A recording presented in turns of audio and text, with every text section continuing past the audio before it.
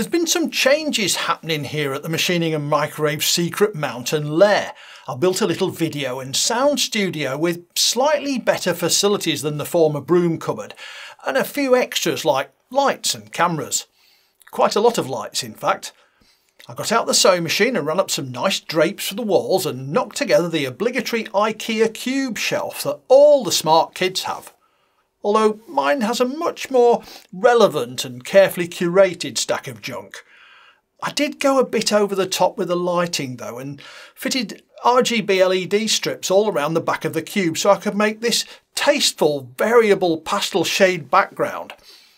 I'm staring at a huge soft light and an equally enormous ring light, plus a little red spotlight to give a bit of warm glow to my ever thinning hair and make me look a little less pasty. I'm using a Rode shotgun mic on a ceiling mount. The lights are on telescopic arms fixed to the walls. The main camera's fitted with an auto cue to remind me of names and equations and other stuff I forget all the time. I'll run a second camera and an overhead camera for when I'm working on things on the table. That camera is a Sony Alpha 7 IV, recording 4K 8-bit video for now until I get the hang of colour grading in DaVinci Resolve and move to S-Log 10-bit format. Oh, sorry, I went into camera geek mode there for a bit. This rather spiffy table has all sorts of bleep bloop techno wizardry so I can press buttons to raise and lower it to specific heights. Very useful if I want to show something very small or intricate while standing up, or if I want to pretend to be Sabine Hossenfelder only without a telephone.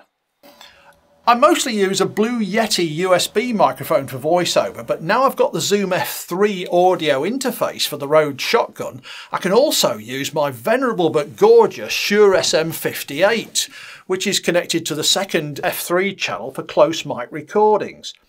I'm just about ready to fit the sound deadening to the walls. I've bought 60 Bulldog clips and I'm going to hang spare bed quilts from them to deaden the reverb from the side walls, the desk and perhaps the ceiling. What on earth must the neighbours think? They'll assume it's for your OnlyFans channel, I expect.